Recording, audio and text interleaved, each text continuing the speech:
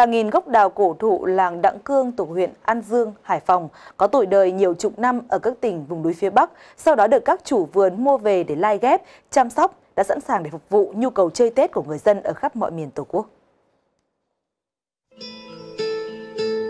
Theo đó thì trung bình mỗi gốc đào đưa về đến Hải Phòng có giá từ 3 đến 7 triệu đồng, ngoại trừ những gốc đào cổ thế đẹp có giá lên tới gần 50 triệu đồng.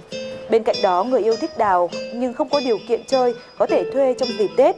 Những cây đào phai dáng bonsai cao khoảng 1,2 mét, khoảng 20 năm tuổi được chủ vườn ra giá thuê dịp Tết là khoảng 2 triệu đồng. Huyện An Dương có 325 hecta trồng hoa cây cảnh, trong đó thì Đặng Dương được cho là thủ phủ. Để đào ra hoa đẹp hơn và đẹp đúng Tết, người chăm sóc phải loại bỏ hết các chi tiết thừa như tỉa bớt các cành nhỏ bị chết khô, chồi non không cần thiết và nhựa đào vón cục. Những gốc đào cổ chờ Tết mặc cho thời tiết có thay đổi thất thường.